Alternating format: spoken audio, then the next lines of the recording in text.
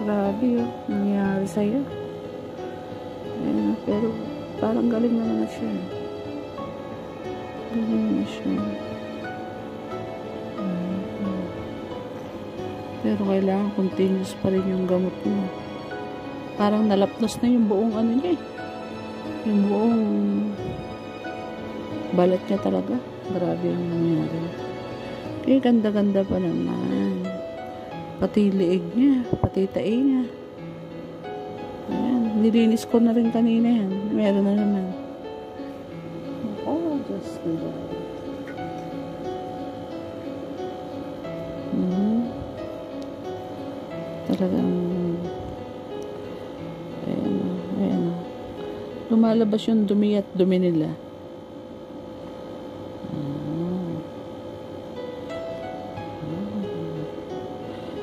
Kanila, nilinis ko siya. Uh-huh.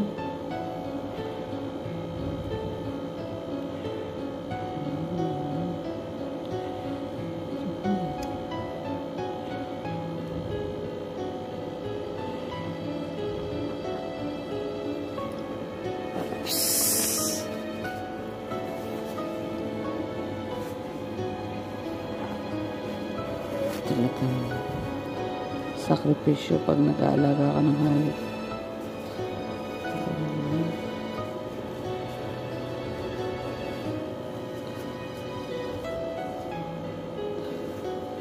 Kaliligo lang yan.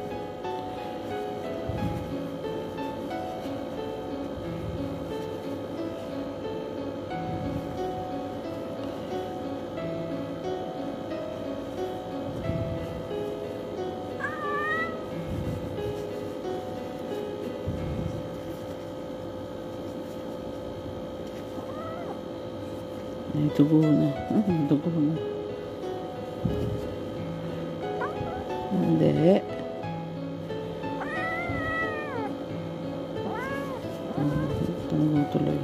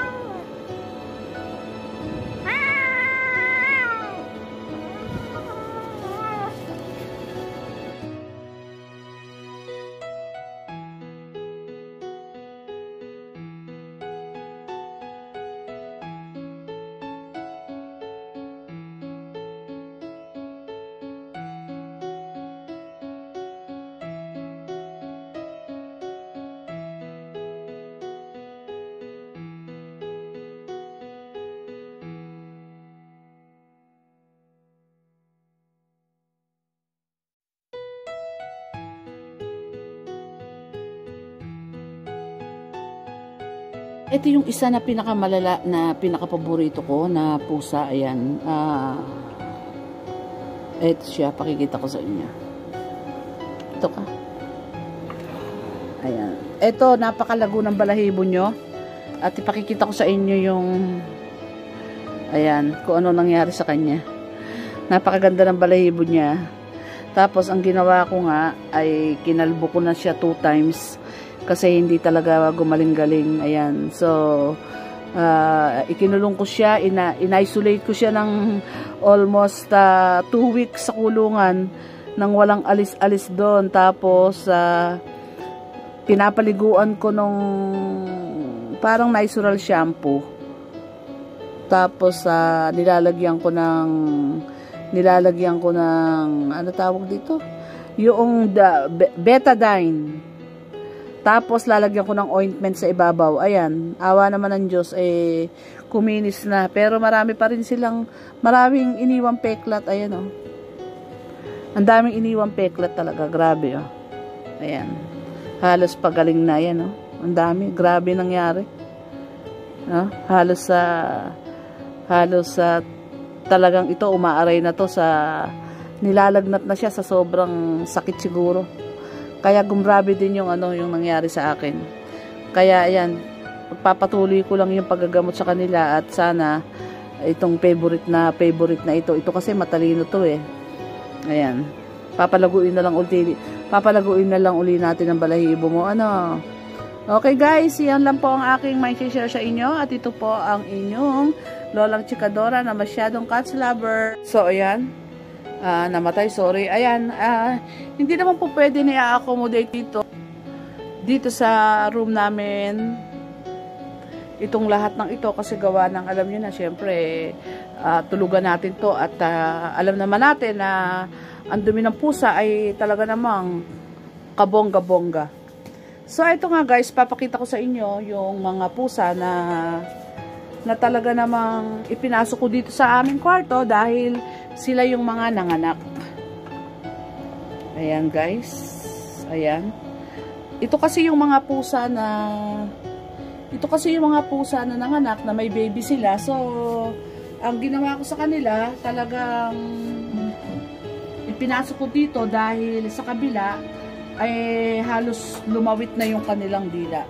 So guys, kasi itong mga hmm. ito, naaawa ako dito sa mga kuting.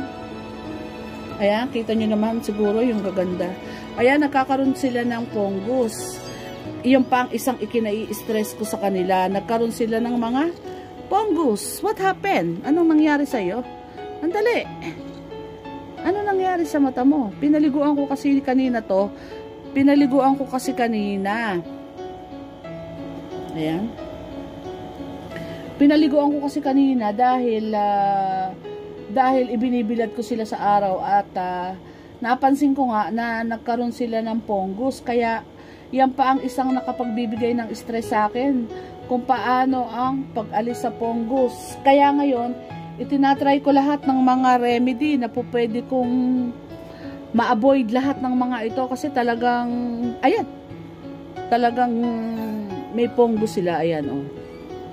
Ayan so kaya guys uh, please uh, sa mga makakapanood nito at may mga alaga at may mga experience about sa pag-aalaga ng mga pusa baka pwede nyo naman akong tulungan ko ano po ang napakainam na gamot sa pusa. Andito po ako sa Saudi Arabia. So yung mga nasa Saudi Arabia na na mga cats lover, baka mapanood nyo ako, humihingi po ako ng tulong sa inyo ng, ng uh, konting payo kung ano po ang aking gagawin dito sa aking mga pusa. Ayan, kanina pinaliguan ko sila, ayan, medyo, medyo ano na, tiyo na siya, oh. Tiyo na siya, oh. Ayan, oh, tiyo na siya.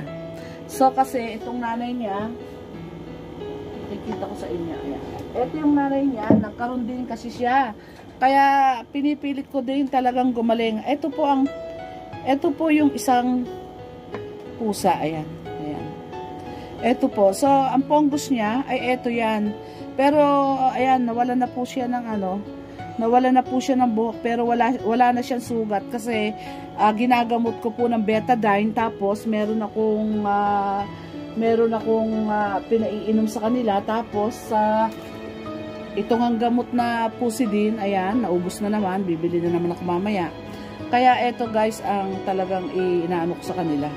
Ayan po guys. Tapos, uh, ipinagbukod-bukod ko na nga sila ng hulungan. Tapos, uh, meron din ako dito. Ayun pa din sa kabila. Andun pa din ako sa kabila. Andun, meron pa rin doon akong mga mga maliliit dyan na mga pusa. Ayan, pakikita ko sa inyo guys. Ito. Ito, mga bago sila. Mga bago lang itong mga pusa na to. Ilang days pa lang to. Ayan. Eh, lima, lima na naman po to. Kaya talagang ina, inaagad ko kung paano ko talaga mariresolbahan ang pongus. Grabe. Ang gaganda pa naman nila, oh.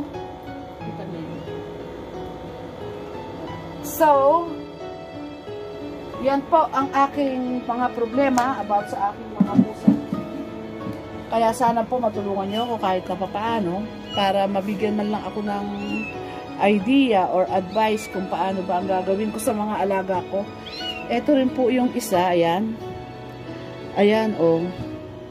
Ito, parang tumutubo na siya, ayan.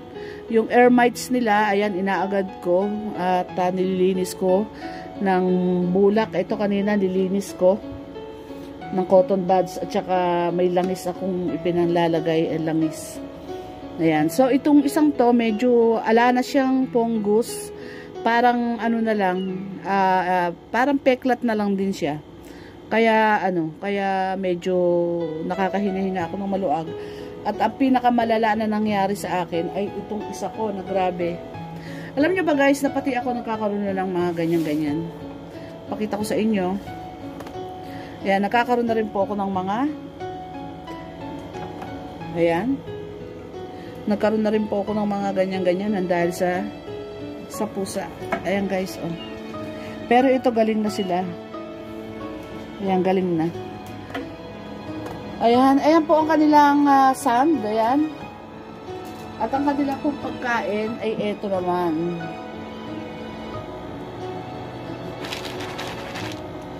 Kaya guys, comment below kung matutulungan nyo ako sa aking mga alaga at uh, sana uh, ayan, sana matulungan nyo ako kung paano ma-avoid ito. Ang sabi ng isang kabayan sa akin, uh, paliliguan ko daw every 3 days. Tapos, at saka ako ibibilad sa araw ng kahit na mga 30 minutes. So, inumpisahan ko kahapon. I hope na for one week magawa ko to. At tapos nga ayun, bumili, bibili na naman ulit ako ng antibiotics. Minsan nga, ayun o, oh, minsan nga alam nyo, tawas.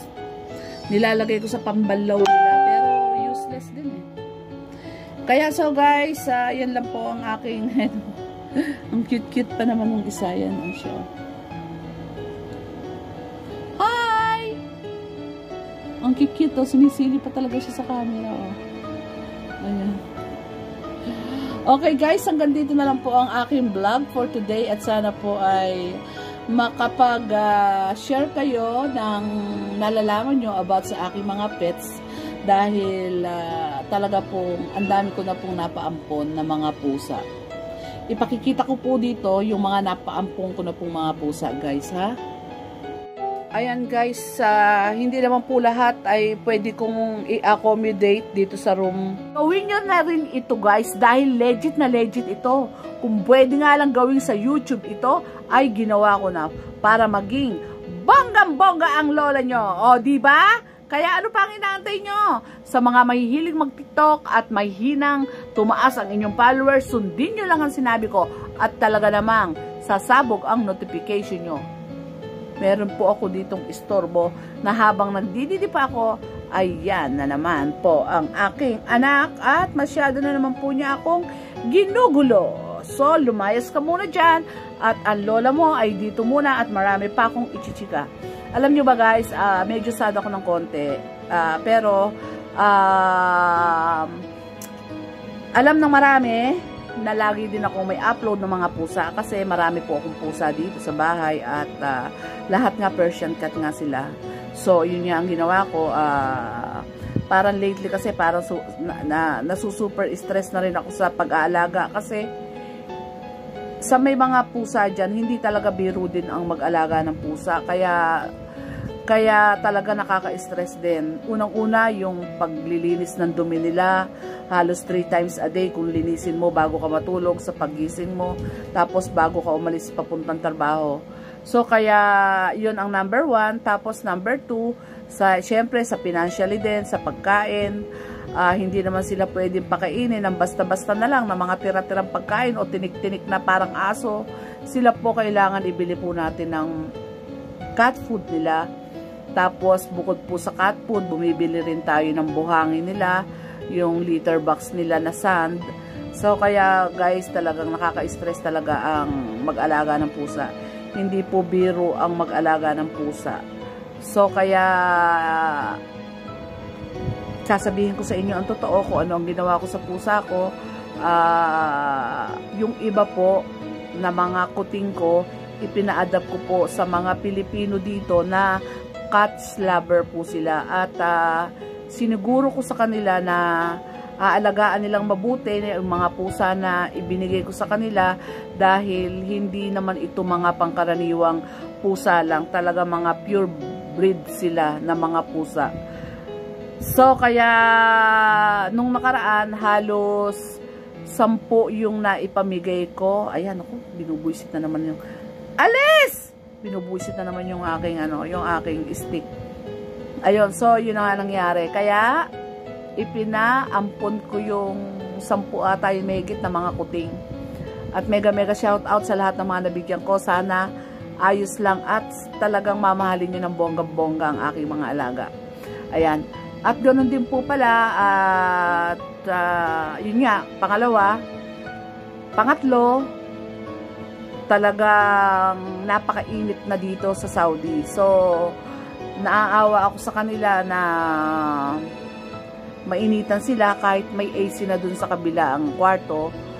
Pero yung AC talaga hindi kinakaya yung init sa kabila. Hindi naman po pwedeng lahat eh dalhin ko dito. Ayan guys, pakikita ko sa inyo ha.